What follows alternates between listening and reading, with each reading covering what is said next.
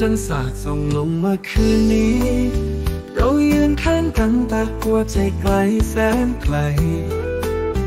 ในความเงียบสงบของท้องฟ้า ฉันรู้ว่ามันจะเป็นครั้งสุดท้าย